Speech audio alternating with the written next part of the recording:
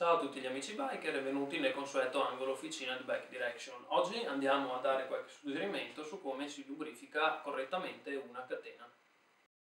Per prima cosa ovviamente diamo il suggerimento di andare a lubrificare la catena quando questa è ben pulita, quando preventivamente l'abbiamo sgrassata, abbiamo tolto qualsiasi traccia di impurità e tracce, eh, tracce di grasso di, di olio.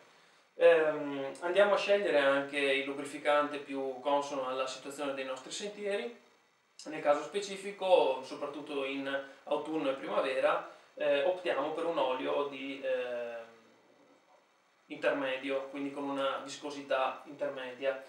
Eh, potevamo scegliere anche eh, gli altri due, Joyce eh, e il eh, Pedros, uno per asciutto e l'altro per, per bagnato, con viscosità opposte, noi andiamo a scegliere una situazione intermedia. Come si fa? È molto semplice, andiamo ovviamente ad aprire il, il flaconcino, flaconcino che è dotato di, eh, di beccuccio, andiamo a lubrificare maglia per maglia la nostra catena.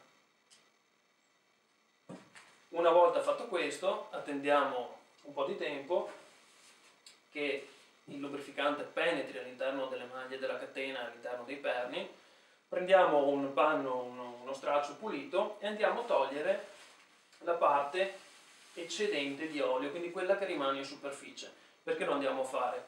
Perché altrimenti se mi rimane troppo olio sopra, il, sopra la catena, questo attira molta, molta polvere, molta, molta sporcizia quindi si usura, la, la catena della trasmissione si usura prima.